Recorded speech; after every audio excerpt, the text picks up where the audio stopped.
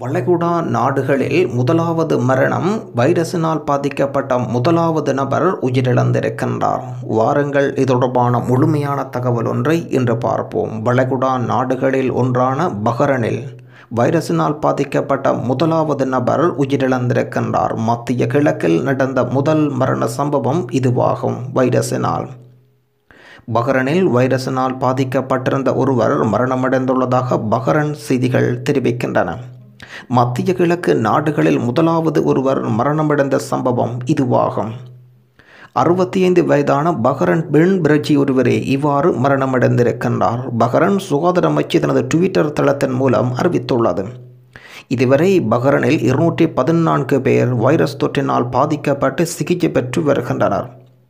Bahrain உட்பட மத்திய கிழக்கு நாடுகளான கட்டாரில் அதிகப்படியாக நானூறுக்கும் மேற்பட்ட வைரஸினால் பாதிக்கப்பட்ட நபர்கள் இனங்காணப்பட்டுள்ளனர் அடுத்தபடியாக சவுதி அரேபியா மற்றும் கட்டார் நாட்டில் குவைத் நாட்டிலும் நூறுக்கும் மேற்பட்டவர்கள் வைரஸ் தொற்றுக்கு இலக்காகி இருக்கின்றனர்.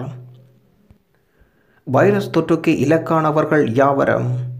ஈரான் நாட்டிலிருந்து வருகை தந்தவர்கள் என்பதும் குறிப்பிடத்தக்கது. ஈரானுக்கு சென்று நாடு திரும்பியவர்கள் என்பதும் இங்கு குறிப்பிடத்தக்கது.